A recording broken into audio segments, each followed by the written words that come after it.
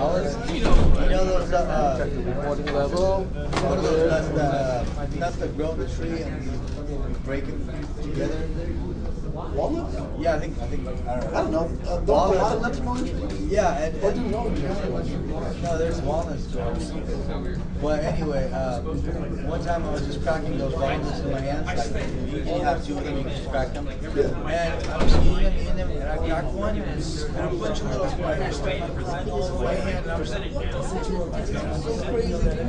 Have you ever reached into a bag of beef jerky, got it out, put it in your hand, mouth, and then realized about three seconds later that there was nothing but ants in your handful? What? Yeah, That's.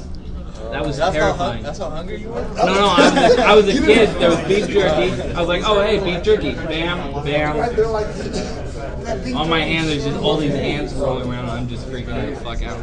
I went to the lab today. He's recording. I went to the lab today and I got this.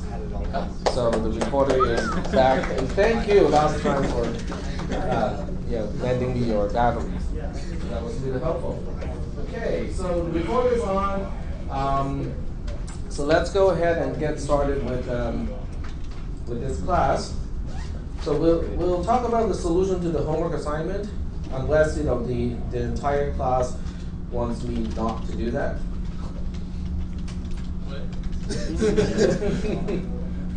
Tomato can. Yeah, that's my response. Because otherwise, you know, we'll go ahead and talk about that a little bit. You know, I think most people get this one just fine, you know, because um, some people came to me and asked me for that, you know, which is good. And I think the problem with this homework assignment is too easy, and people say, you know, it cannot be that easy, not from Tak. and no, it's really that simple. It's Yeah, really that. I did it three times thinking I did it wrong because it only took a few steps. Okay, so so this is the, the theorem, and we have to use the solution from, la- from last time. So what you need to do is to uh, use the CNF from last time, and then uh, attach the negation of the theorem that we are trying to prove. This is the theorem that we are trying to prove here. So let's go ahead and just redo the whole thing. I'm just going to redo the whole thing here because it's a good reminder to myself as well.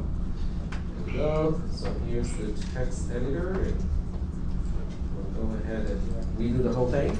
Okay, so from last time we have Q or the Q or R implies P. This is already done last time, so you don't have to do it.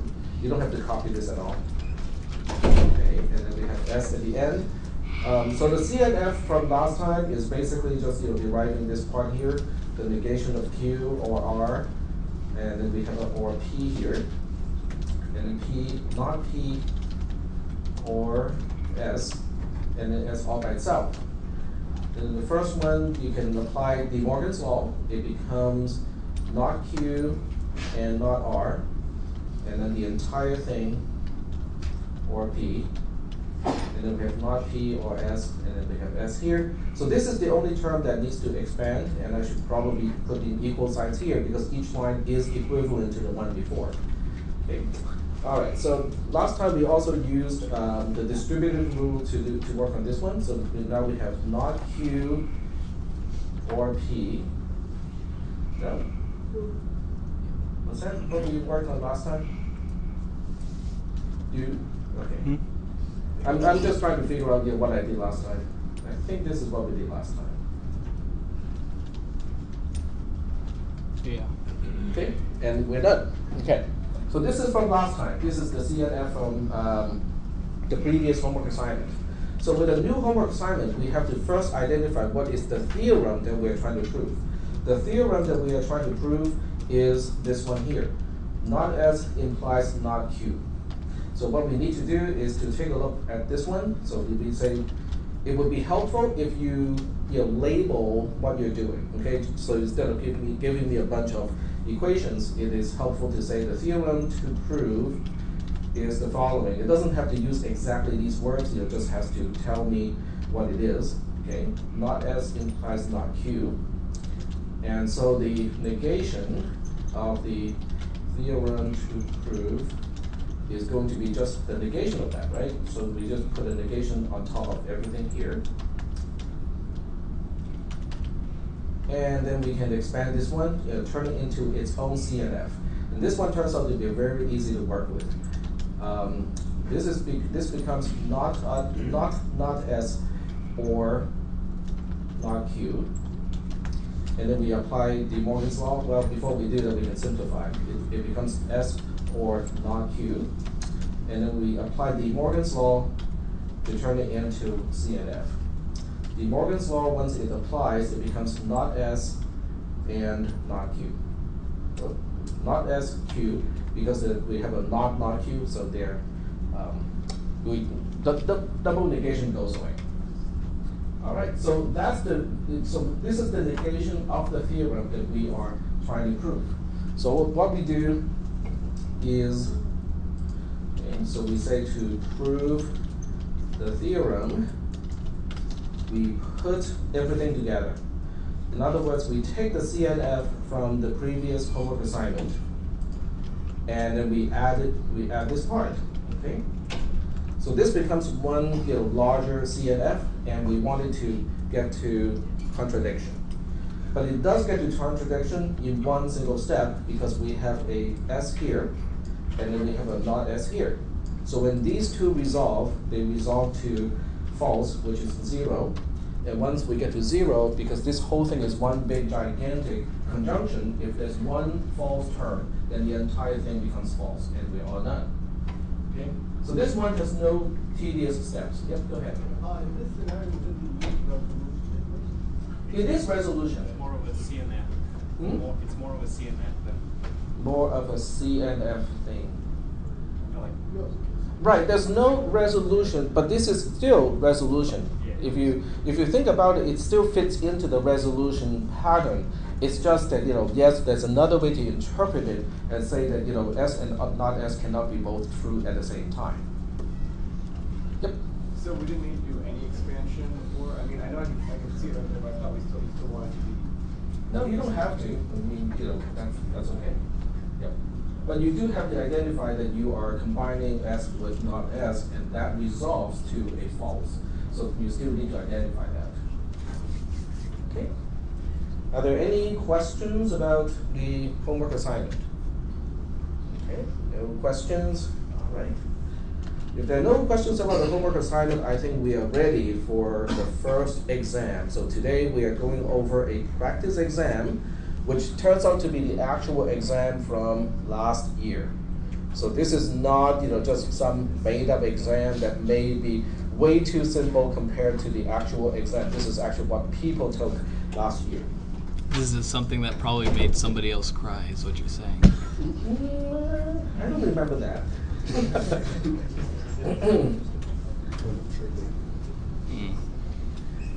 So it's on my apps.losrios.edu drive. Not shared yet. I will. Oh, wrong password.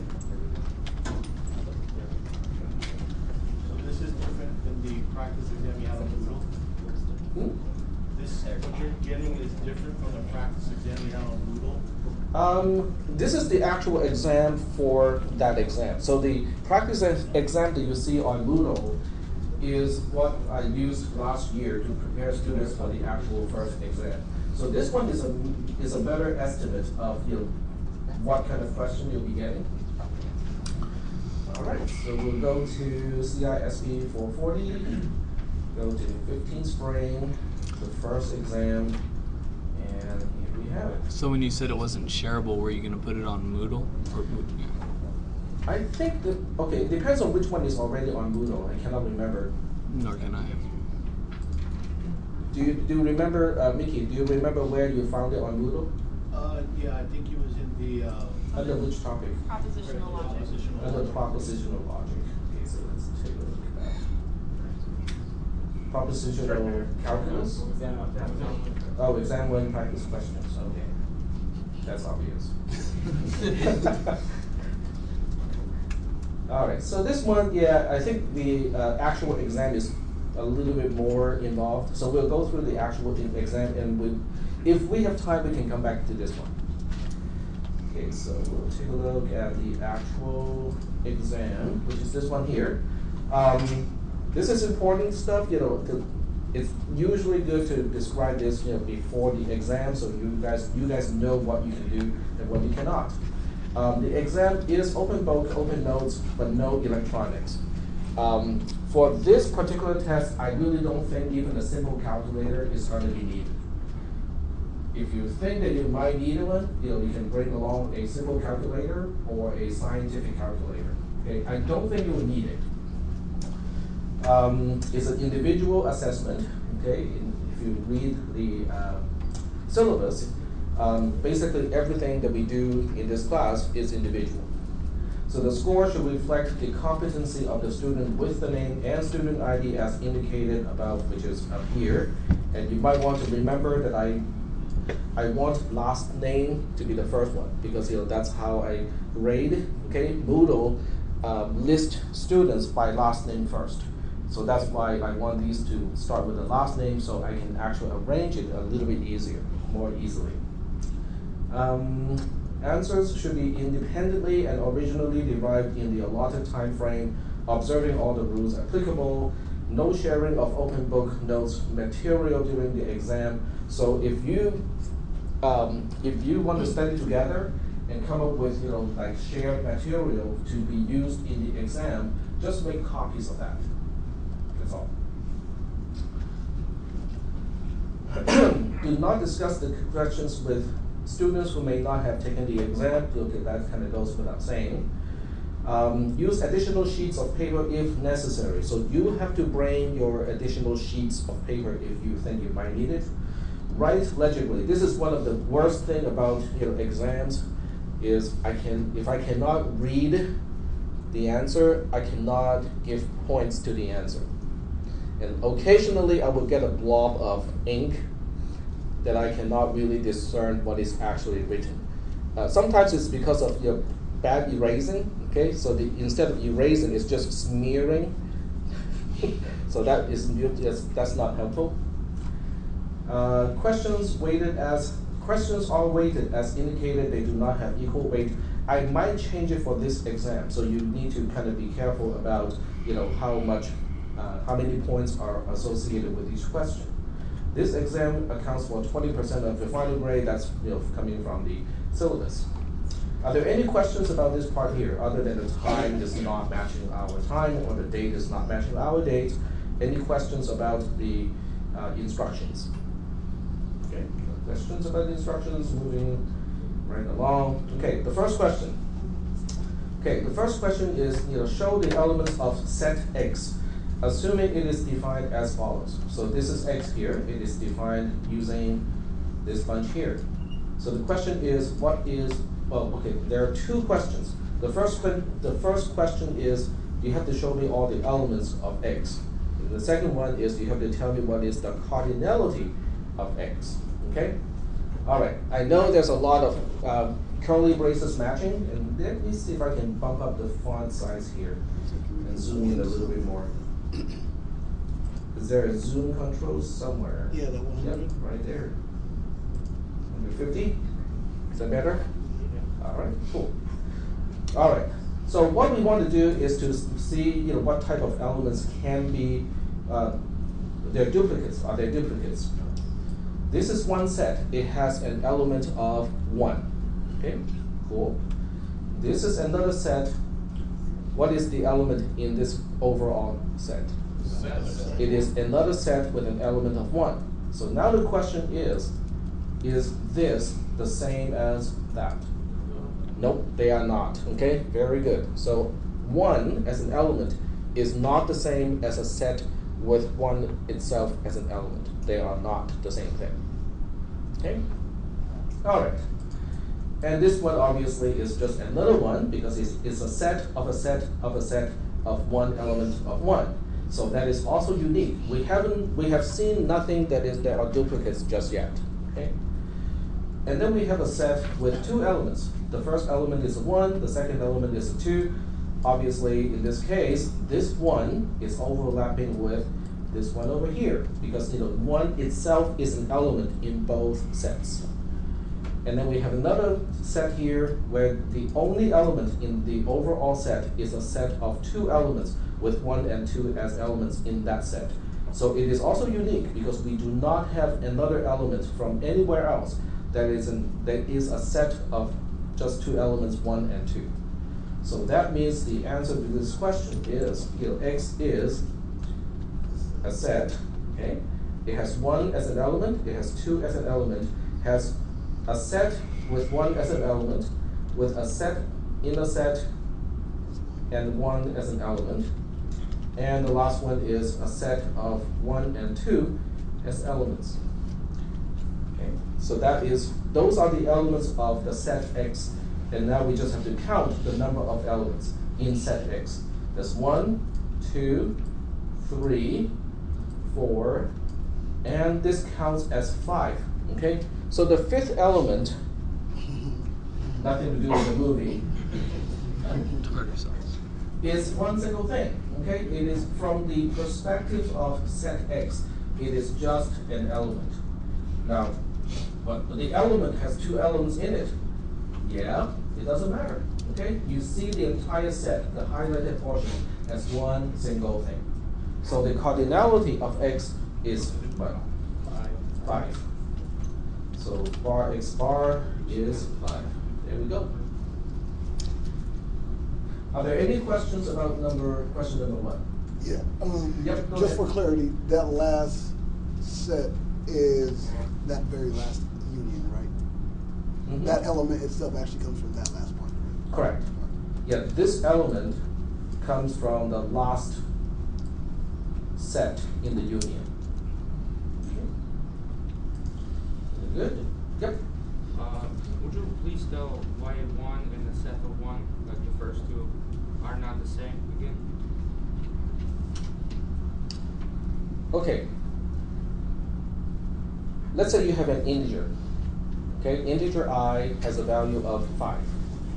You have an array of only one element, and that element also has a value of 5. Are those two things the same? Can you compare that entire array that only has one element with a single integer i that has this, they have the same value? Would they be the same? Exactly. So that's the reason. I I needed that visual.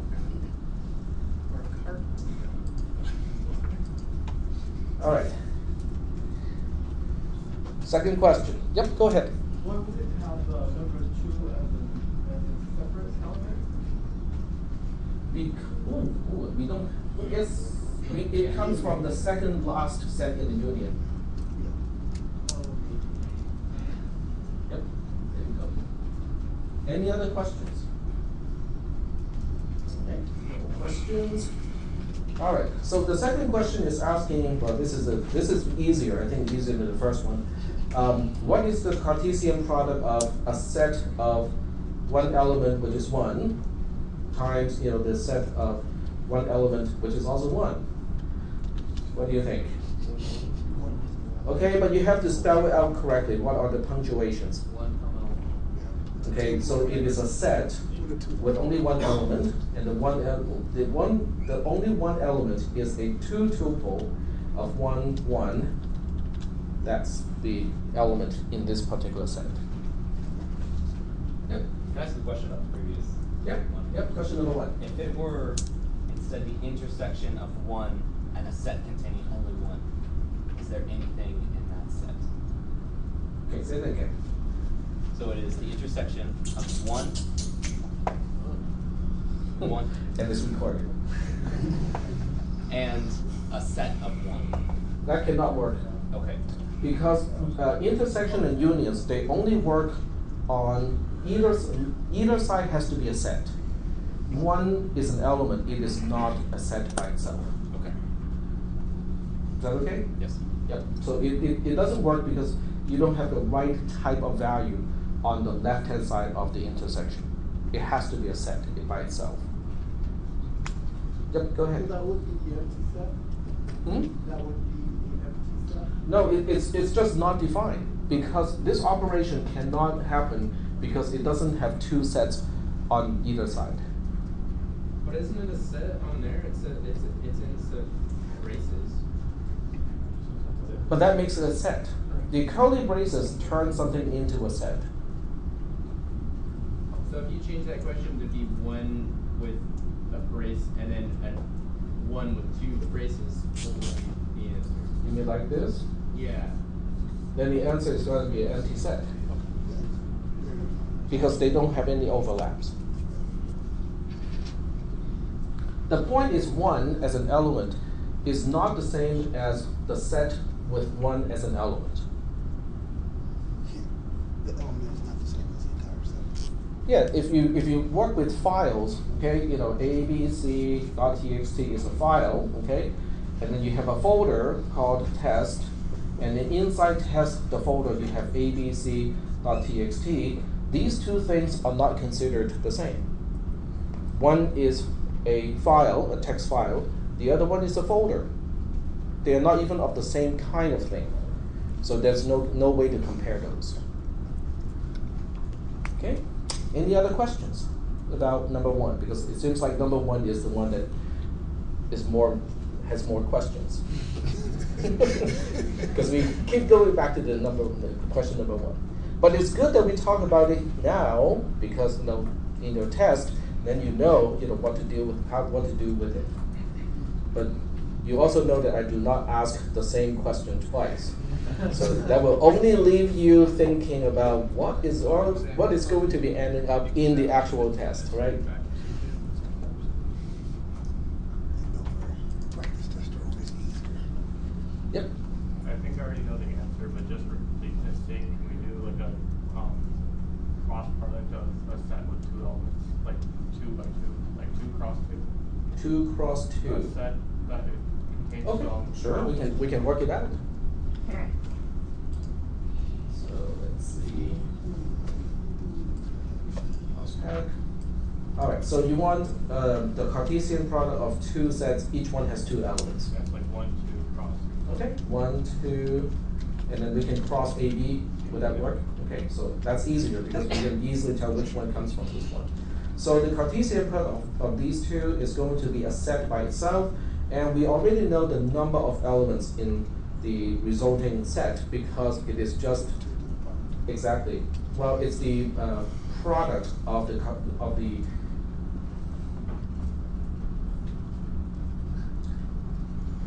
I, I told you know I told some of you that know, my speech center is not working right today. The cardinality, okay, it's the product of the cardinalities of the set where you do the cross product. Okay, so we know there are four things in here, and they would be the, yeah, it's just the first one from either, the first one from the first, the second one from the second, the second one from the first, the first from the second, and the second from both of them. So that would be the Cartesian product. So just clarify what you said, so the number of the number of elements in the cross product of a Right. set is going to be like if the cardinality is n with Right. one and n. So if you look at set A, Cartesian product with set B, the Cartesian the card yeah, the cardinality of the Cartesian product is going to be bar A bar times this is arithmetic multiplication bar B bar. It's guaranteed because you have to take each one from A Yeah. and then you say, okay, you know, B, you know, each element of B can be a partner, and then you expand it out. And then you take the second element of A and then you do the same thing. Any other questions? Is that answering your question? Yep. Can we do something like, uh, uh, a set that just contains one, co- uh, one Cartesian product of A, comma, B? So instead of having two, and then just have Cartesian product of one. So one has two and one has one. Okay.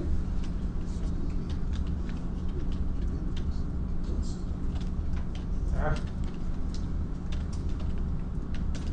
All right. So let's take a look at this one, and we just take out the B in the second set. Would that work? Okay. So you only have two elements left. Because there's no B, so that becomes your answer. Is that okay? All right. Okay, any other questions regarding Cartesian products? Let me ask you a tricky one. I have a set A, and I want to do a Cartesian product with the empty set. What is the result of that? Set A, this is set A. It's a cross product. So the end result should be a set of tuples where the first element comes from the first set A and then the second element comes from the empty set. Can anything come from the empty set? No. No. So that means the result is an empty set also. So it's like multiplying by zero. Yeah, it is kind of like that.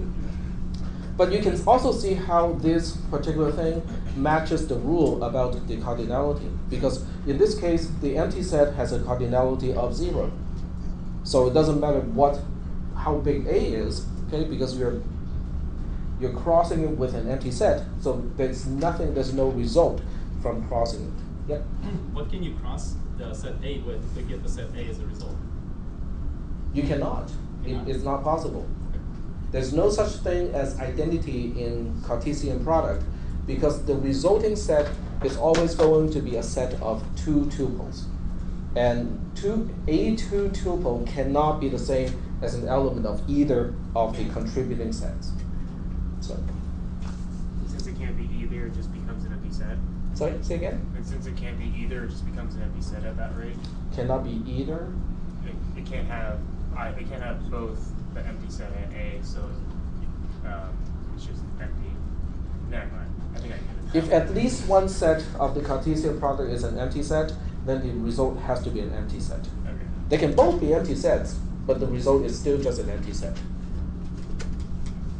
Okay, any other questions? Yeah. What if you, is it possible to cross a set with a set within a set? Yes, you can. I don't see why not. You mean something like this? Yeah. Okay. Well, I don't see why not. It's- Cartesian it's really the product same exception. Thing, you know, because those concepts do not interfere with each other. They are quote unquote orthogonal. Okay. So let's take a look at that one. So this crossing with, is that what you're asking for? Okay. So the result is really just you know a two tuple, right? So each element of the resulting set has to be a two tuple, where the first element comes from the first set. Well, in this case, the first set only has one element, so we only have one to choose from. The second element has to come from the second set. It has to be an element coming from the second set. Well, which is a set of one, just like that. Okay. That's So- the that's the result. Um, okay, that's good. So they don't ever have to be like the tuple doesn't have to consist of the same type of elements. No. It's just you know whatever you know the other set has you know. Yep. Yep. So then if the second set were actually a million long instead of just that one, then it'd be one comma and then a set with a million stuff in it, right? And that'd be your only element. Okay, so you're saying the second set has a element which is a set of a million items. Yeah. Yes. Then you have you know the same thing, which is a single two tuple as the result, where the second item of the two tuple is a set itself that has a million items. Yes. Whereas each element of the one, the one of the you know any one of the one million elements can also be a set, can also be a two tuple, can also be a three tuple, and so on. Yes. Yep. Alright, so out of curiosity, you're, you're not gonna ask us a question that's gonna be like a set, a Cartesian product with a set, with a set phi. Okay, you know, you know the thing about, you know, don't think of a pink elephant? Is when You, you you, think about it? when, when you say Tak, you're not gonna ask that question about blah, blah, blah. What are you uh, doing? Okay, well, my, my, my question is this, not though. enough. if you have, if you have like a rho, okay? Mhm. If we have a, a set with a Mhm. Cartesian product with a set that contains the set rho, Yeah. and you ask us how many elements are in there, rho is infinite at this point, right? Okay, let me ask you this question then. Okay. All right. Since you guys are asking that question, okay? This is, Z is the set of all integers. Okay? So what do I get here? So you get one. Yep, exactly. No, no, what I'm asking you, if you had, if you had rho in there, Rho. But why would it? why Yeah, would the Greek letter rho. Greek letter rho, Yeah. which can represent an infinite amount of things in But, it, correct? but Z is But it is, but rho itself is a set. Right, but what I'm saying is, you're not gonna ask us what the cardinality is, like how many elements are in that set. But what's the cardinality of the natural numbers? You wouldn't has a ask us for the cardinality. It would be just one C. element since it's within a, the set. If it's within the set, all of that is Okay, one. okay, okay, there are two answers to that question. One is if you have a set that has an infinite number of elements, then we cannot really talk about the cardinality as a number, okay? But then we can still refer to the cardinality of a set that has an infinite number of elements using countability, which we haven't talked about yet. So I will not ask that question. So that's, that's my two-parter answer to your question. So basically, it's not. Say again? No, okay. Okay, But, but this one, you know, this is tricky because z is, even though z is the set of all integers, which means it has an infinite number of elements, in this case, we have a set where the only one element is another set. Look, it's on silent, right? That means it's very urgent. Oh my god, sorry about that. Listens to no program. It's either very urgent or your phone got hacked. Yeah, it's on silent. I, I, I, if, if I were you, I would, you know, kind of move away from Mickey because his phone may, may, may initiate a self-destruct sequence. It's a victim of, uh, We, we don't know what those lithium ion batteries can do when they short out. Preferably, I'd never find out in person. Actually, they explode. Preferably, I'd never find out in person through practical testing. And that's why we have lithium polymer batteries which do not explode. Um, okay, question number three. Question number three is given any, any, any is actually in italic. Any two sets A and B, what is the intersection of A minus B or the difference of A and B intersecting with B minus A, which is the difference of B and A? Now remember, subtraction is not commutative in arithmetic, right? So it is also not commutative when we perform these operations. Wouldn't that be the empty set? It would be the empty set, yes. But why is it the empty set? Because you're asking for what's inside of A that's not in B, intersected with what's inside of B, not inside of A. Exactly. Yep, yep. That's the best way to look at it. A minus B is what is in A but not in B, and then B minus A is what is in B but not in A. But if you do the intersection of those, then you have nothing, because you know the entire thing. You know, if you look at each one, it it has to be from A or B. Yep. There you go. Yep. Can we draw the Venn diagrams for that? Absolutely. I cannot, you know, draw it on the. Well, I suppose I can using like ASCII art. You know what? You know, since I talked about it. okay. Okay, so I just have to remember which letters I chose. A, B. Okay, there we go. Okay, so we can do a A.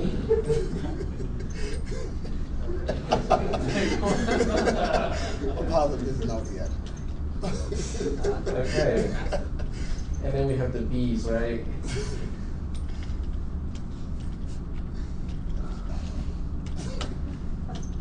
Now the difficult part is to do the overlap because these are both A and B, so I suppose I can do it like this, maybe. So A B A B, okay. I'm, I'm, I'm, There you go. Okay, so the intersection is this part here. Okay, these elements are in both set A and set B. Is that okay? Yeah, see, it, it doesn't that, it doesn't take that long, okay? You know. Okay, so now we want to calculate the difference, right? You know, A minus B. A minus B are all the elements in A but not in B. Okay, so that would be. Okay, I hate to be lazy, but I am. Okay, so if you look at this portion, okay. hmm. Okay, everything to that's that's hard to highlight if you look at just this portion, that's A minus B, because those are the elements in A but not in B. Is that okay? Yeah. And then if you look at this portion, these are the elements from, that are found in B but not in A. Yeah. So, so when you look at those two, okay, what we're looking at here is this. Okay, this is A minus B, this is B minus A. Do they have any intersections? Nope. Because we just took out the intersection. Yep. Yep. So how would we write the answer? How would you write the answer? None of that. The answer is an empty set. So you, you just use one of the two ways to this to uh, uh, denote an empty set. What's the other way?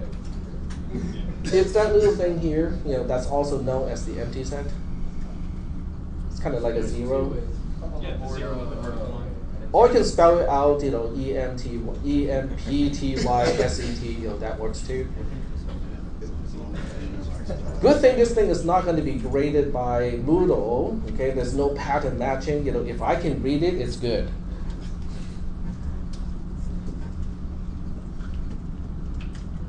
All right. So question number four. Now this one is a little bit longer. Okay, so it'll take a little bit longer, but it's not too bad. So let's read the question first. The question says, given that f is a function, it maps a domain D to a codomain E. Indicates properties of f that has to be true, okay? f has to match these attributes for each case because of the conditions stated in the table.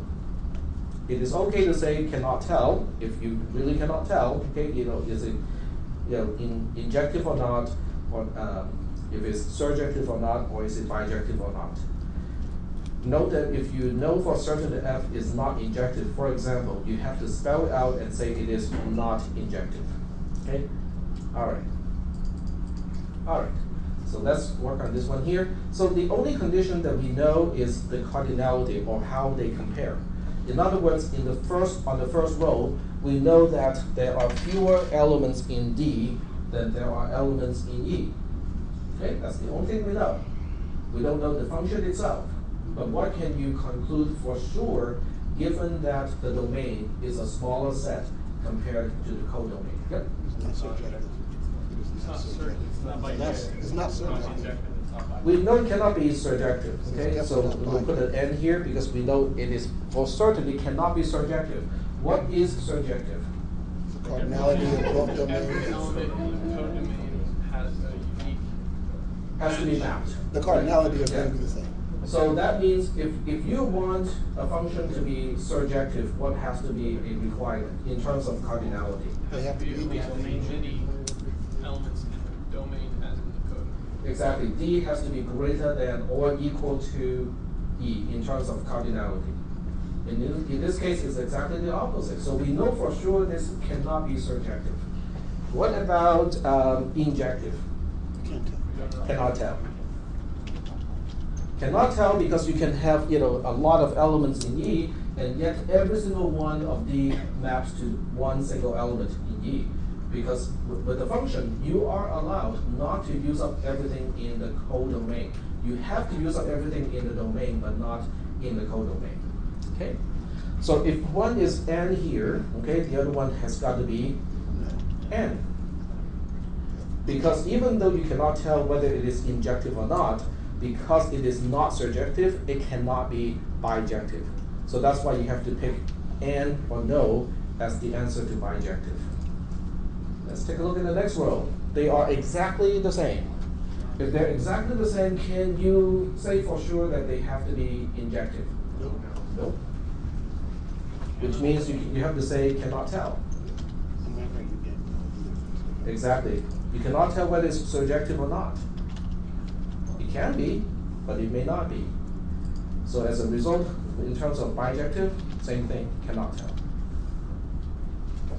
All right, the last one is D is greater than E, or the cardinality of D is greater than the cardinality of E. So there are more elements in the domain than there are elements in the codomain. Is it injective? It could be. Well, can we say it is for sure not injective? It's for sure not, yes, for. Exactly. We need to use all, we need to use all the elements from the domain.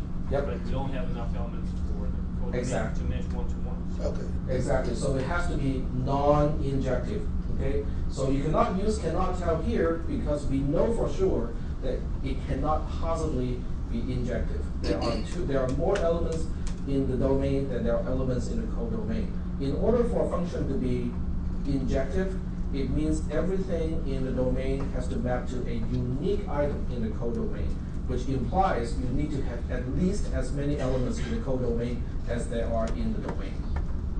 Okay, so that gives you an end here right away. Okay. Can we tell whether it is for sure surjective, for sure non-surjective, or we just cannot tell? It can't be. We cannot tell. It can be surjective, Oh, just simply because it could happen. it can be surjective because you know you have more elements now in the domain than there are codomains. So you can use up everything in the codomain, but you don't know exactly how it is mapped. So that's why you cannot tell. So are there any questions about this one? Now this one kind of spells out everything that I can possibly ask regarding you know injectiveness, but only using cardinality as a clue. So if I were to ask a similar question, then I would have to change the condition and not use the cardinality as a clue. So I would have to use something else as a clue. I have I don't have an idea of what I'm going to ask yet. But him, him, So it's not gonna be cardinality. so if someone were to beat me up in the parking lot, I will still not be able to answer the question, what is gonna be in the exam? Oh, I was going to do that. That's what they all say. That might make me more creative though. You don't want that. have a start date for the exam? Uh, next Monday, one week from today. Tuesday. Oh, Tuesday, Tuesday. Tuesday, sorry. Tuesday. All right, question number five. Question number five is to describe f that maps, this is the domain, okay? So the domain is the Cartesian product of true, false, true, false, to a codomain of true, false. The function is defined to be just implication, x implies y. And I want to know whether it is, oh, surjective, not subjective, surjective, there we go. So I want to know whether it is surjective, injective, and whether it's bijective. Okay, so what do you do? The first thing you do is you define the whole function, okay? Well, let's go ahead and define the function. F is a set, right? It has how many elements for sure? It has four elements, okay? So we have four elements here, and I'll just add the commas to separate these items, okay? Now, technically speaking, for each element, the first one is a two tuple, and the second one is just true false. Okay, here we go. And I already know what two tuples I have to deal with because we got false, false. We have false, true. We have true, false, and true, true. Okay. All right. So can someone tell me true? Uh, false implies false. Is that true or false? True. It's true. Very good. In fact, whenever the first one is false, the second one, the whole thing has to be true. This is the only time when it is false. This one is true too. Okay, so given that f as a function can be written as a set of these two tuples, where the first tuple itself is by itself a two tuple, is it surjective? Did we use ended up using all the elements in the codomain? Yes, we did. Okay, very good. So we'll say this is in fact surjective. Um, is it injective? Can it possibly be injective? No. Just looking at the domain and the codomain cannot be injective. So we can say it is non-injective. But because it is non-injective, it has to be non-bijective. Because bijective means it, it has to be both surjective and injective. So this one cannot possibly be bijective. There we go. With this, um, I mean, we get no benefit from not showing the work, but do we have to show what the, uh, the set turns out to be? Or can we just give the answers? Mm, I think these three will give you, they carry all the points. Okay. Even though I say describe, but I didn't say exactly how to describe it. So in your test, when I say describe, it means it'll spell out all the elements. Yep. Um, Can you go back a little bit, uh, for, for the second, uh, tuple, Uh-huh. how is it that you have? You mean this one? Yes, how is it that you have false, true, and then it equals true?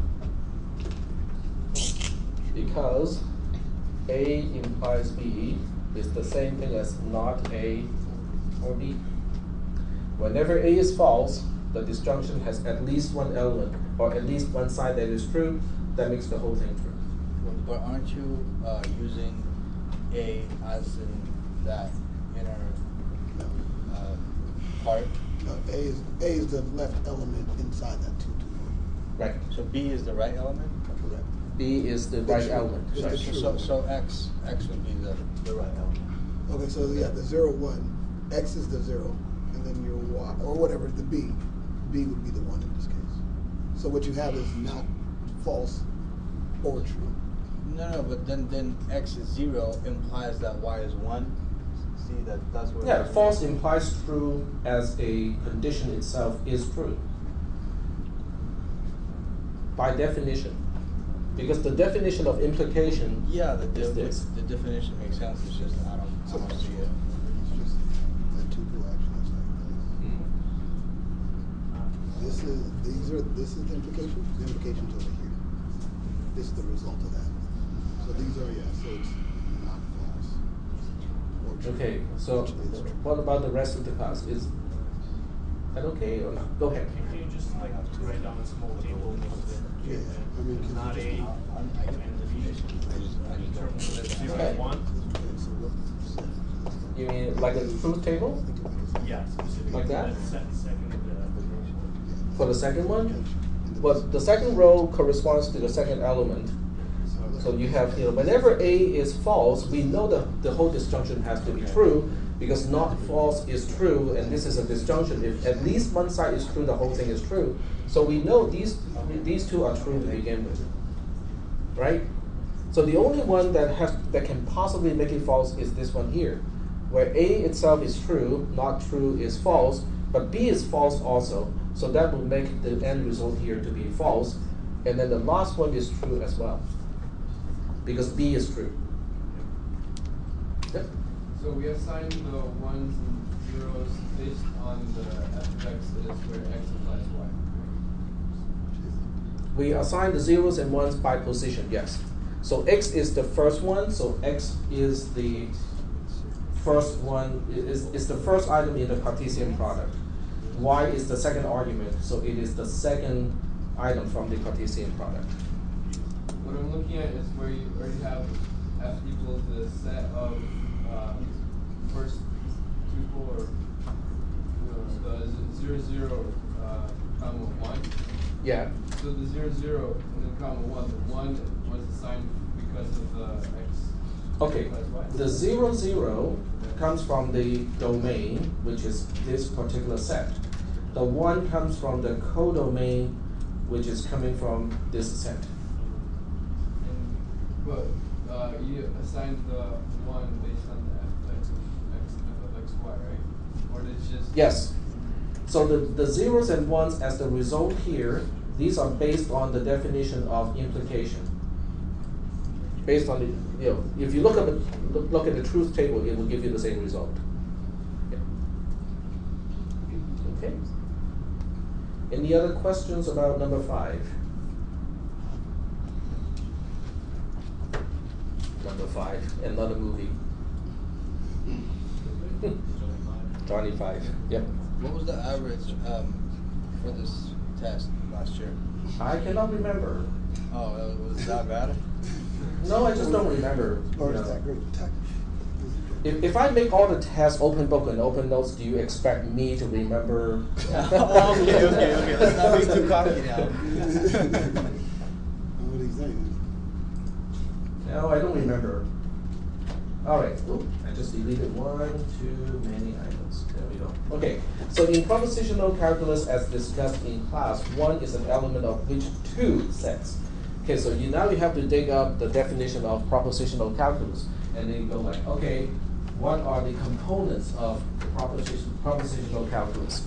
Okay, I will just use the English version, well, whenever possible. There's this set of alpha, okay? What, what is in the alpha set? Symbols, symbols, constants, Okay, variables. variables, constants, and what we call schematas, okay? And one is for true, okay? Does true fall into one of those three categories? It's a constant, okay? So A is, is the right answer, okay, good. Um, which other, we have a set of omega, right? I'll just spell omega here, or just I can insert, equation, okay, that's fine. And we'll put in omega. There we go. What about omega? Can one in, be in omega? No. What is omega? The- A set of all the connectives, operators. True is not an operator, so it's not in omega. Okay, so get rid of that. That's not, that's not the answer. Uh, what else? We have iota, okay, which is, you know, just uppercase I. Okay, what is iota? What is it? What, what are the elements in iota? Things that are known to be true. Okay, so do we define true to be true? Yes, so it has to be in iota. Okay, so A is alpha, I is iota. Um, what else? There's one more set. There's one more set to define propositional calculus. Zeta. And what do we have in zeta? Transformation rules is true by itself a transformation rule. It's not. Okay? Isn't a result? Hmm? Isn't, wouldn't it be a result? It can be on one side of the transformation rule, but it's not a transformation It's rule. not the rule itself, yeah. Yeah, because for anything to be a rule, you need to have that symbol. And one obviously is not that symbol, so it cannot be in zeta.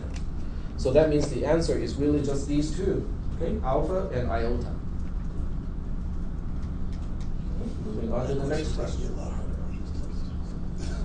Okay, this one, you know, it, it looks really long because I give you all the axioms, okay, and I give you, you know, like ways to refer to the axioms. So when you apply the axioms, you can refer to, oh, I just use axiom 1.2, I just use axiom 1.9, and so on. Okay? And the question is, using the axioms, prove that false is not true. For simplicity, the use of commutative and associative axioms 1 and 2 can be implied and not be made explicit. I made the mistake of not deleting the actual solution. So, you know, but that's just a solution. I did not quote the rules. So let's go ahead and do that part. Okay, let's quote the rules. Okay. All right. So here's the first one. Okay. Oh, I can't do that because it's a math equation. Fine. Uh, let me see if I can just add. No, it's the page break thing. It doesn't let me insert anything. You can bring Notepad up and just. Yeah, I can uh, just do that. Okay, so we'll go ahead, or I can just highlight it. Okay, so zero is P and not P. How do I get that? If you look up the rules up here, okay, let's see if we can find it. P and now P down at the bottom. One point seven, very good. Okay, so this is one quick and easy way to make false. Okay, any variable and the negation of the very same variable is that. Okay, mm-hmm. yep, go ahead. So this table of rules and axioms is gonna be included on the test, or do you have to bring a copy? For anything that I think you probably will not remember, I will include it. But since it is an open book and open notes type of exam, I assume that you will bring along, you know, everything that is needed. Okay. Yeah. And besides, in this case, I give these specific numbers, and in my notes, you know, they are not, they were not numbered. Yeah, go ahead. Uh, would it be possible, do we have to use one of those, right? We have to do? We have to use one of the rules in the table? Yes. We have to. Yeah, so every single step, you have to quote which rule you are using. We can't just say, um, not, not one, which is a rule that's over there, one One five? Yeah. Not, not one, gives us one. But you, but this is P, P is not one. You can't, you cannot use that. Yep. Okay, so now we look at the second one, which is, you know, linking the second to the third term. Which rule did we use in the table to make that happen? Double negation. Okay. And what turned it into like this? It's uh, De Morgan's law. So it's one of the De Morgan's law, and they're collectively called 1.4. And then from that, we get back to this one. And which rule did we use to get to get back to this one? 1.5. We got rid of the double negation. And how do we know that not P or P is 1? 1.6. That's it. Yep. So you said you would provide us with a set amount of rules, but Right. would that, just that set you bring, you give us, will that be enough to solve the answer, or will we need to bring more on our own? No, that- that should be enough to solve, like in this case, you know, I Yeah. just use all the rules that are presented. All right. Yep. That part where it says for simplicity, did you add that just now, or was that, was it like that on the test? Seems like it was in the test. Yeah, it's in the original test.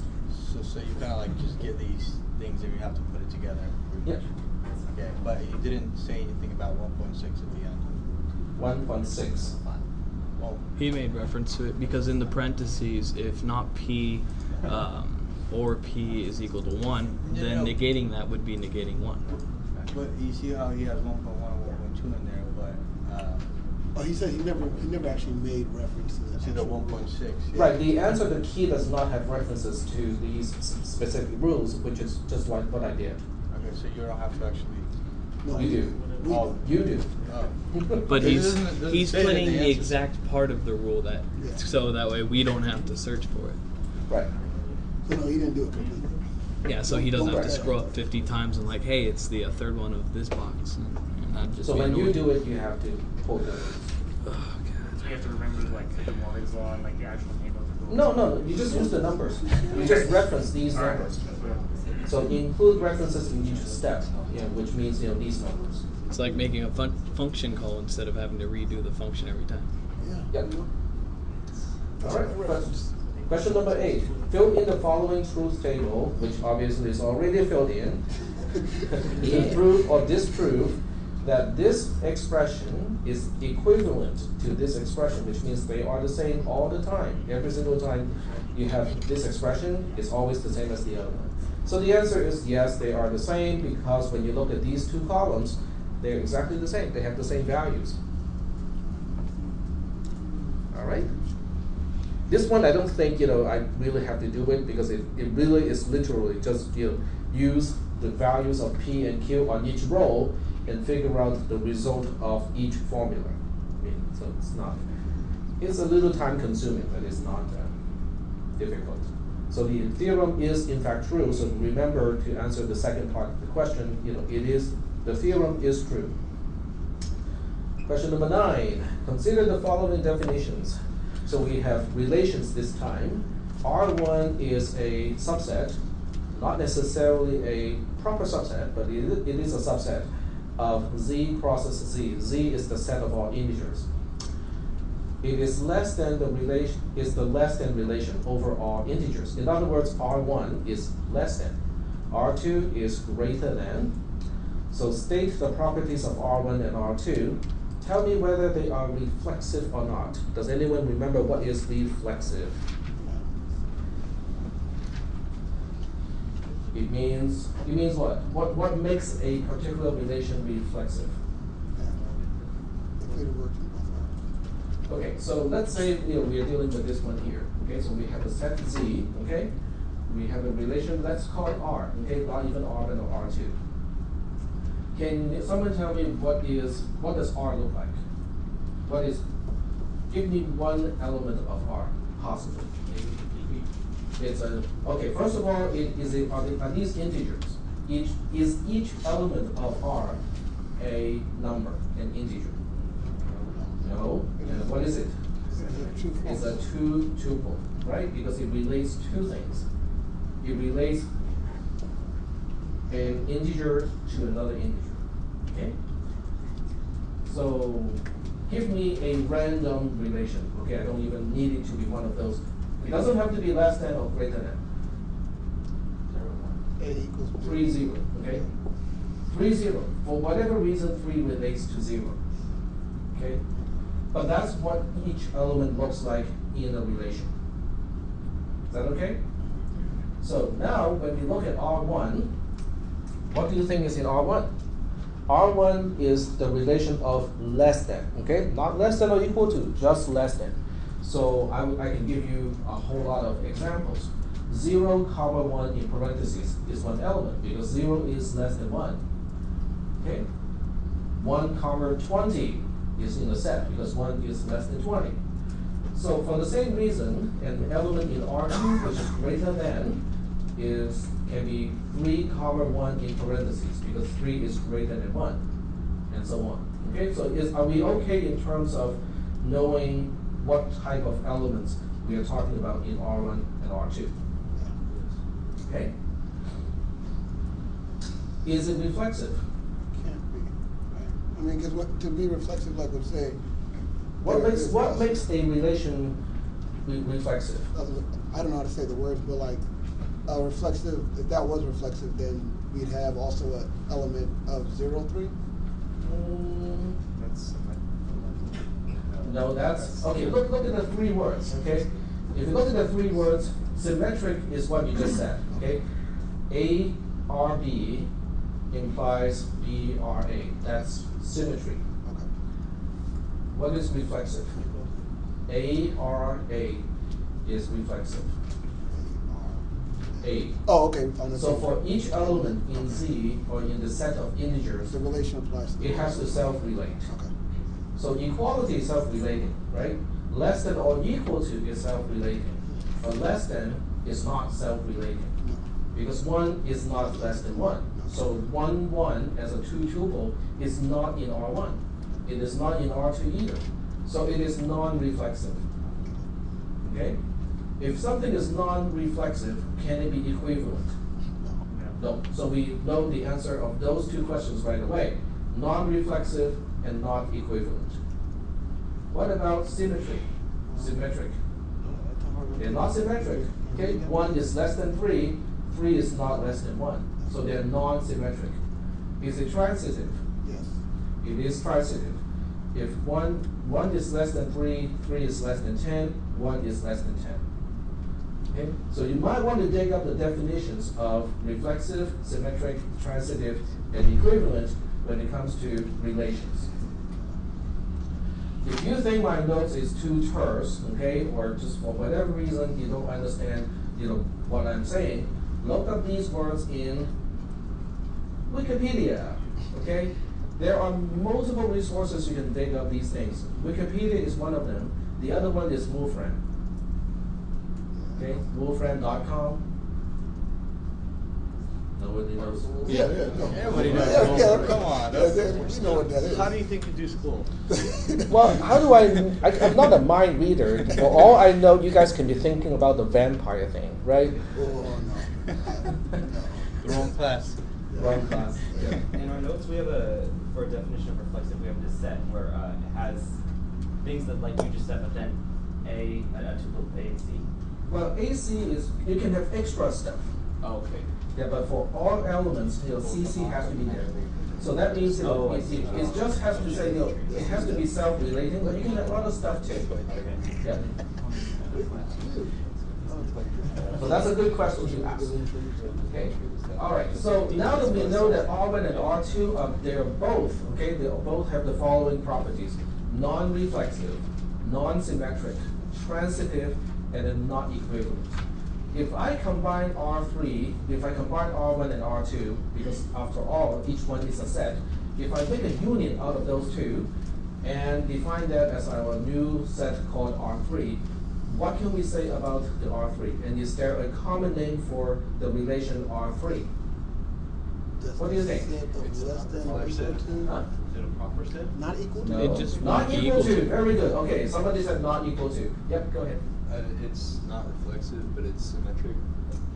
It is non-reflexive, it is symmetric, Yeah. it is not transitive anymore. Okay? And as a result, it is also not equivalent. Is that okay? Sort of? What makes it transitive?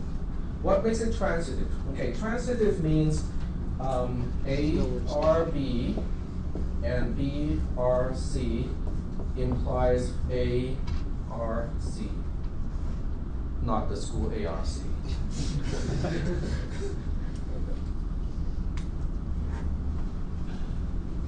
ARB is a Air Resources Board. Mhm. That's, you know, if, if a particular relation satisfies this requirement for all elements A, B, and C, then it is called transitive. Is that okay? All right? So the more common name is just not equal to, and then you have to define you know, all the properties. I think question number ten is the last one. Describe a bijective function. Okay, this one, you know, I don't think I will ask this because we did it as a homework assignment already. Okay, so that, we'll, we'll re- I'll read it out anyway. In other words, find a function that, so that given any natural number 3D coordinate, it maps the 3D coordinate to a unique natural number. Remember your homework assignment? You, so you wanted us to That's what the it answer to is. that?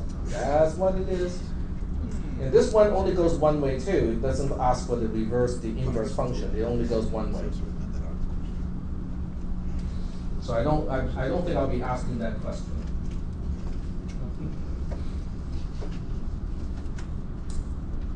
Any other questions? Yep, go ahead. All that math you did when you showed us, when we did that homework assignment, you did most of the work and all we had to do was make a composition function. So you actually had them do all that work on the test?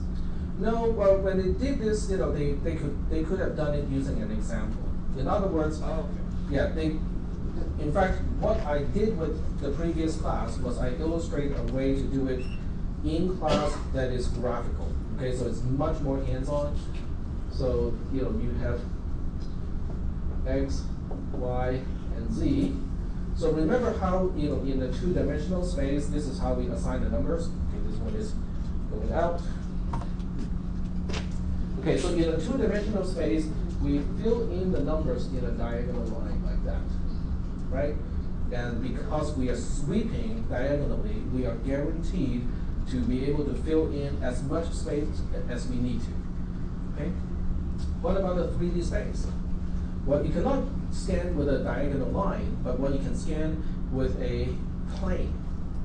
So you basically move a diagonal plane outward like this. Yeah, so you still have zero at the very center, right? It's kind of hard to see it. Then you have a one over here, and then you have, because you have to scan it out, you know, and you have to cover the base first. So you have one, two, and then a three here. And then you have a four, five, six. Then you have a seven, you know, that's on the next level. Sorry? Middle, yeah. Yeah, so you basically fill it up, you know, using, it's another triangle, which is one step further from the origin. And then you have another triangle that is also one step further. So if people can show me those, you know, that particular pattern, they get, they get the point. But I talked about that in class, last time I taught this class, I talked about the graphical way to do the mappings. So this is not new back then. This was not new to the students. We didn't get the, But you did say you're gonna take that off the We didn't get the three D plane. Hmm? We didn't get the three D plane in our class. Right, we did the other way, which is actually in a way easier. Yeah.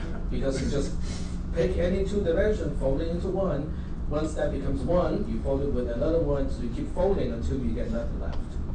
Well, you get one dimension left. All right, so that's the practice test, you know, that I, well, this is the actual test from last year.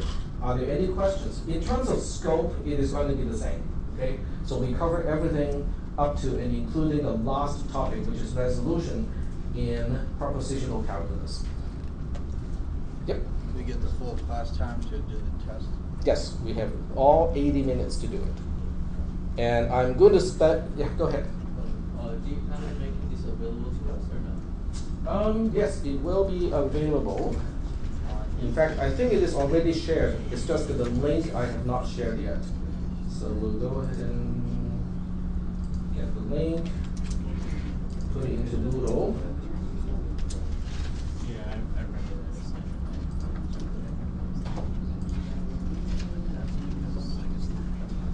Semester they did that differently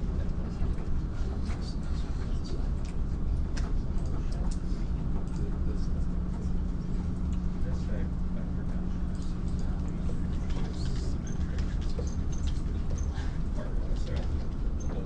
It was uh, spring 15. Here's the URL.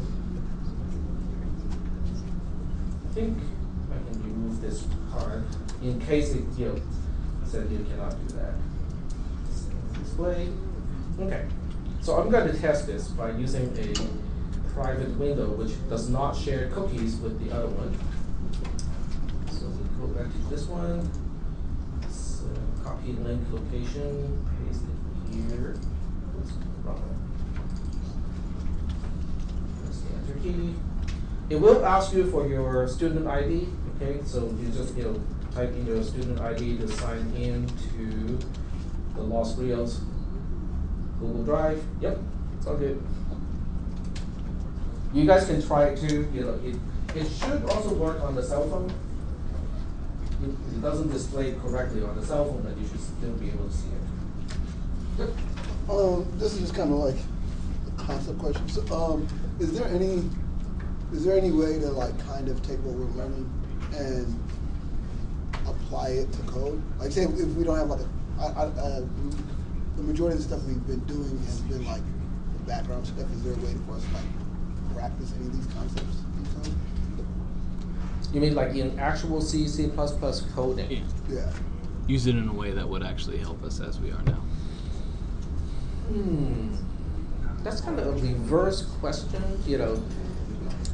Okay, we must, do, do remember I used an analogy to talk about, you know, the math that you need to work on in the, in computer science. It's like Tai Chi. Yeah.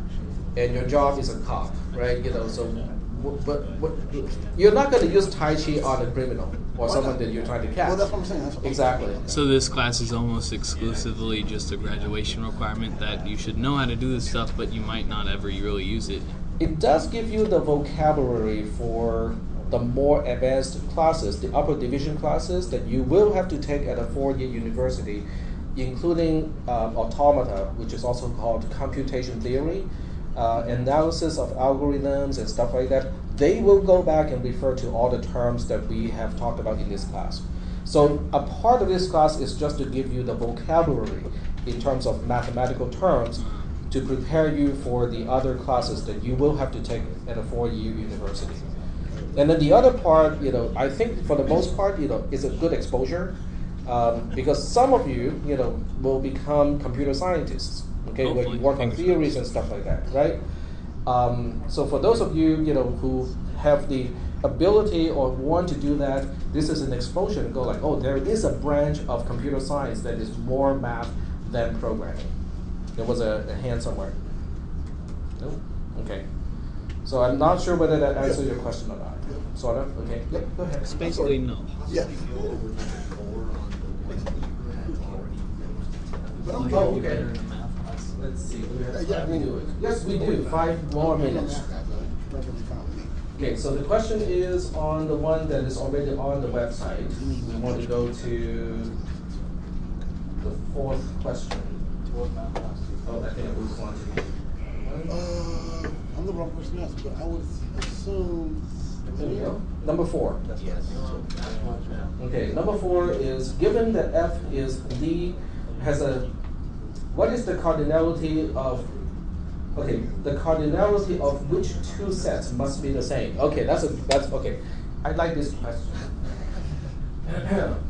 How many sets are we talking about here? Two. What number was it? No, no, no, no. There are three sets. Okay, What E is a set. What number E is is a set. Number four. Uh-huh. Q four. Okay. Okay, D is for sure a set. That is our domain. Yes. E is a set. It is our codomain. But there's one more.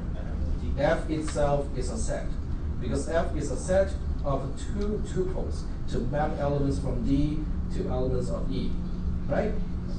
So I'm asking of these three, which two must have the same cardinality? F and B. F and B, correct? Yep, because the domain must have the same number of elements as the function itself. Yep. Yep. This isn't calculus, we don't care about E. I read my own questions and I ask, you know, how did I come up with that?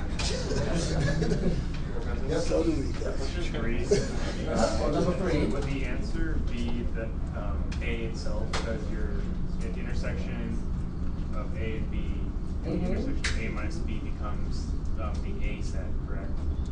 Or Nope, it's not. Um, the answer is just A intersect with B in this case. Because A intersecting with B will give you elements that are in both, right?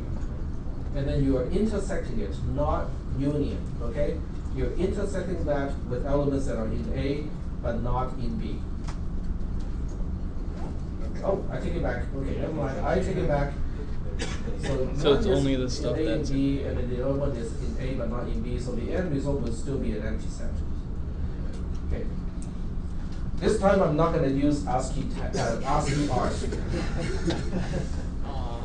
So actually. Okay, so we got A, we got B, okay, and they have some overlapping, okay? So A intersecting with B is this portion here. This is A intersecting with B, okay? A minus B is the portion that is in A, but not in B. So that would be this portion here, but excluding the intersection. So these two are disjoint. They are, they do not share any elements.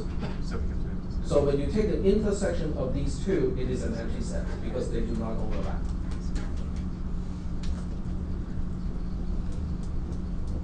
Okay, Any other questions? But see, this time it is not in the, on the projector, and you guys have to actually write it down.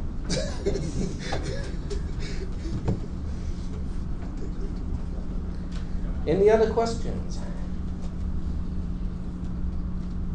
So I would, you know, okay, this is something that I did with all of my other classes, so I feel that, you know, I should be doing it to this class so that it's fair.